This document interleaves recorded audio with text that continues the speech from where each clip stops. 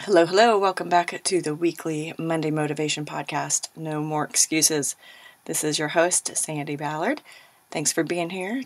Thanks for sharing my podcast because it is pretty easy to share. And it's the only way it's probably made it all the way around the world is because of you guys sharing. So I appreciate that. You guys are awesome and you are worth the effort, aren't you?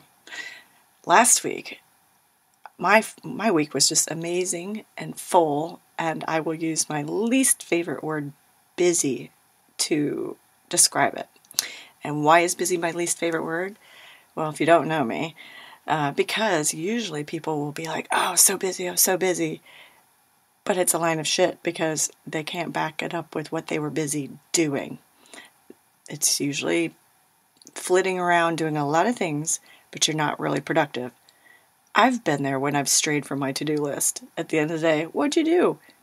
Stuff. you know you did a lot of stuff, but you don't. You can't say really what you did. So, anyway, my week last week, full of clients. I traveled to Texas to facilitate a DISC profile workshop. Got to see two of my besties for dinner, connected them, and uh, yeah, on Thursday, flew back in.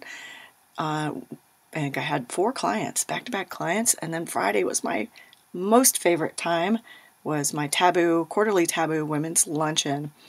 Uh, all the panel this time were they were all chefs, restaurant owners.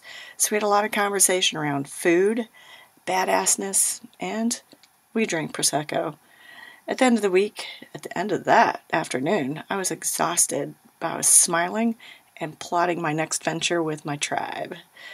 Last week, nothing could distract me. I did not allow it. I could not allow it, all right? Except the flight delay. Coming home, it's a direct flight. Shouldn't be delayed, right? Unless there's mechanical issues. Then you give them the time to fix it. So, you know, there again are those things where you can, distractions that you can uh, avoid and the distractions that you can't avoid.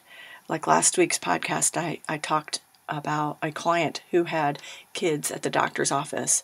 And you can't avoid that. That's life. That is unavoidable distractions.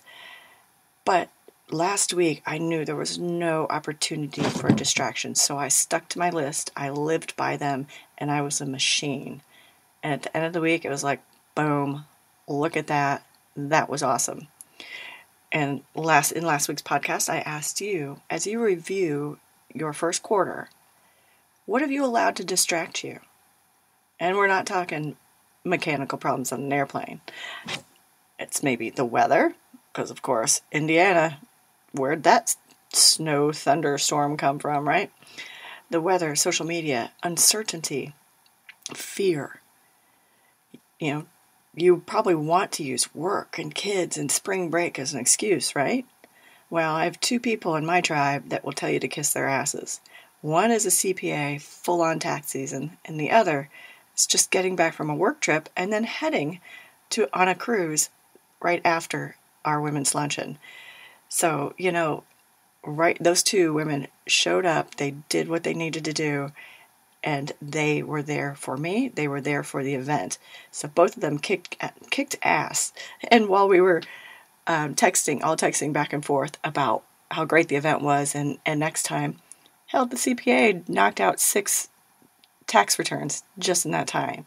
So don't try to use work or kids as an excuse, because that's dedication. That's saying they are worth it, and they did not allow anything to distract them and to get into their way of what was important to them. And holy shit, I'm on a roll, right? I mean, last week's panelists all female. That's what we do, not because we're jackass men suck feminists. It's another story for another day. It's what our luncheon is about how to support each other truly. And the panelists were all, like I said, female chefs, restaurant owners. They had dreams, goals. They decided no matter what, they were worth it. And for those in Indiana, uh, Regina from our, R Bistro, Molly from Smoking Goose, Carrie from Newfangled Confections, and Kristen from Spoke and Wheel. So they were badasses. They are badasses, and they do no matter what. Um, they support women in the industry.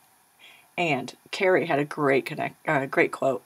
She said, "The world is too small to be a jerk." Right? It doesn't matter what you do for a living. If you own your business or not, whatever your goals and dreams are, you have to decide, yes, how badly you want it. My second book that I wrote. And are you worth it?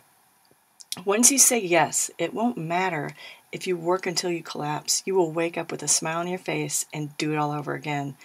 Just like last week, I would take that week every single week of every month because it was just that awesome and just that great to spend time with clients and friends and meet new connections, make new connections.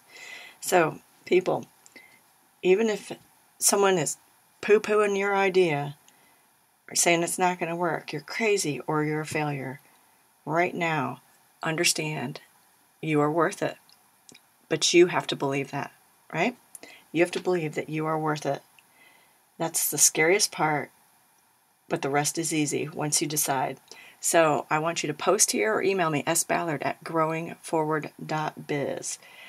I want you to post, yes, I am worth it, or email me and let's talk because if you're not feeling like you're worth it, then we need to, to help work on that part of it because you are, right? Have a great week. I look forward to hearing from you. Cheers.